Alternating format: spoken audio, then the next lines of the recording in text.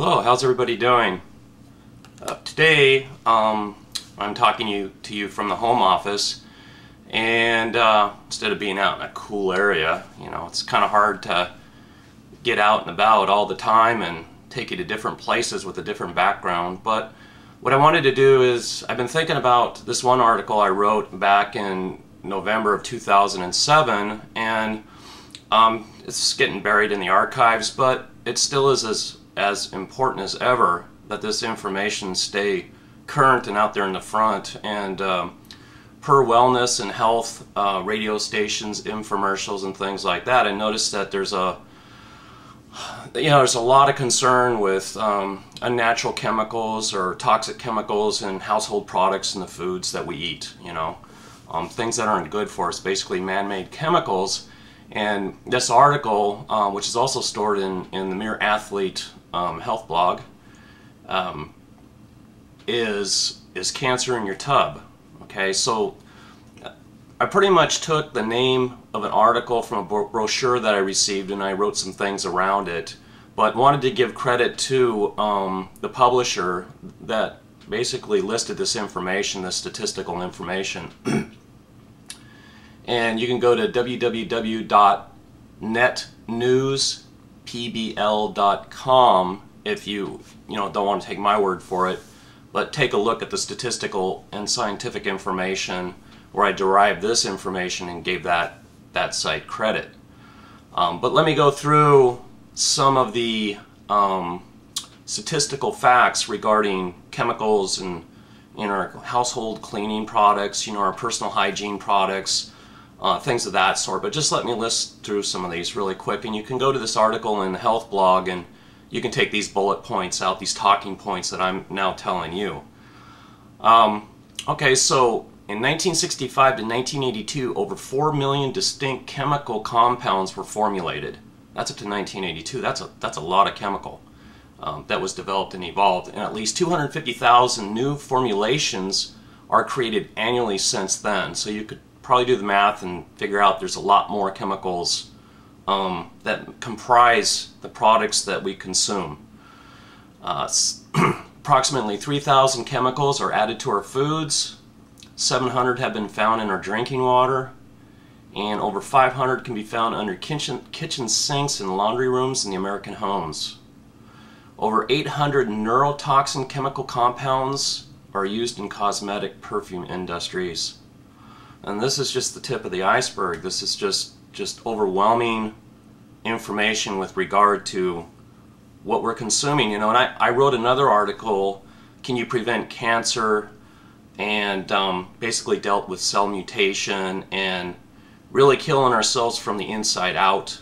Um, you know, we just don't know this information because the FDA sanctions everything that we buy in the market. Doesn't mean that it's good for us.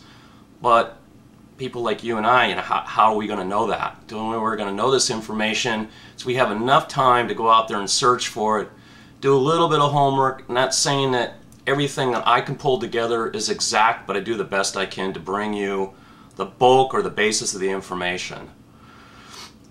so, I just thought I would pick out three chemicals and see if, you know, they're the most commonly used chemicals in our consumable household products. And I'll list what they are, and then I'll tell you what I did. And you can do the same thing. You can audit your stuff in your household, and you can check it out for yourself. Okay, so question is, so out of 600 toxic product ingredients, I picked three found in our everyday household items, and they're known as carcinogens. Cancer, okay? The of cancer, okay? Um, cancer incubation, you know, which manifests itself through time. And I, I find it interesting, and I don't have any statistics to back this up, that demographically in geographical areas that cancer rates are on the rise. You hear it every day. Or maybe our media form of the way we communicate and spread this information is just better. But in my opinion, I, I think cancer is on the rise. And it's not just any one specific cancer, it's all types of cancer. Okay, so number one, what's antifreeze doing in our shampoos, deodorants, cosmetics, lotions, toothpaste, and pet foods? Yes, the main ingredient is propylene glycol. That, that, that's what makes up antifreeze, okay? And the only thing I can come up with, and I, and I read a book by Kevin Trudeau, uh, Natural Cures. I, I, highly recommend you get it. I, am not promoting for Kevin. I don't know him. I've never met him.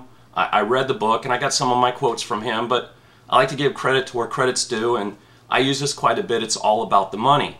And he's absolutely right because you and I, we're, we're numbers. We're a numbers game. We're a dollar sign. You got that big old dollar sign.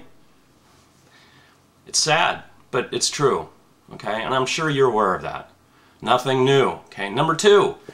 What are concrete floor cleaner, engine degreasers, and car wash detergents doing in hundreds of our other personal home care and cleaning products, such as bath and body products? The main, main ingredient is SLS, sodium lauryl sulfate. That's number two, carcinogenic chemical. Two out of 600 in your household products that you're using every day. Number three, I don't have the time to go over all 600 of them, but it's, it's just overwhelming. What is, what is a known cause or contributor, contributor to cancer? Okay. Or of being potentially dangerous or hazardous to our health doing in, in the shampoos. And I, I already mentioned that from the sodium lauryl sulfate, bubble baths, lotions, cosmetics, soaps, laundry, and dishwashing detergents. Now, I want to say something about this. The acronym for this chemical is DEA.